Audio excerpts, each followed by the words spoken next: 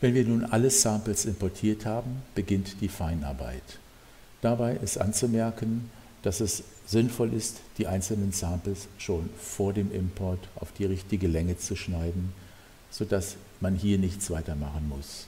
Aber jetzt geht, gilt es, die Samples in der Lautstärke anzugleichen und im Stereopanorama zu verteilen, damit wir letztendlich ein Stereoergebnis bekommen.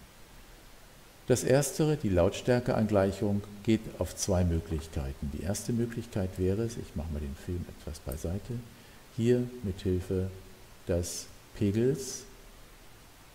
Dies gilt für alle Samples, die auf dieser Spur sind. Das heißt, hier würden jetzt von der Lautstärkeänderung beide Samples äh, betroffen sein, indem ich diesen Regler nach oben oder unten ziehe. Das will mir nicht immer so genau gelingen. Jetzt rechts und links wäre äh, Verteilung im Stereopanorama und oben und unten. Jetzt habe ich es, wird es leiser bzw. lauter. Auf diese Art und Weise kann ich die Lautstärke anpassen. Noch bequemer geht es, weil ich das dann für jedes Sample extra machen kann, mit der sogenannten Automation. Dazu wähle ich hier unten Automation aus und sage Show Default Automation Curve on Every Track. Wenn ich das auswähle, erscheinen hier diese blauen Linien, das ist die Lautstärke. Und jetzt kann ich hier die Lautstärke für die einzelnen Tracks verändern.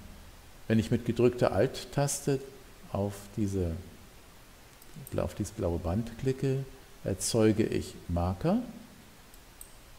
Mit vier Markern kann ich es zum Beispiel schaffen, dass ein Sample, wenn ich dieses jetzt herunterschiebe, dass ein Sample ein- und ausgeblendet wird. Sie sehen, hier wird es eingeblendet bleibt es bei der Lautstärke und wird es ausgeblendet. Nun habe ich aber dieses zweite Sample hier vollkommen ausgeblendet. Das heißt, ich müsste dann hier auch wieder Marker erstellen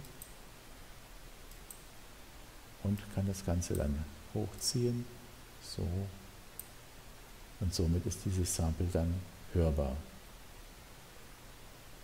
Ich kann jetzt auch, Sie sehen, ich habe dieses Sample jetzt wesentlich lauter gemacht als dieses, so kann ich jedes einzelne Sample jetzt in der Lautstärke verändern und beeinflussen und ein- und ausblenden.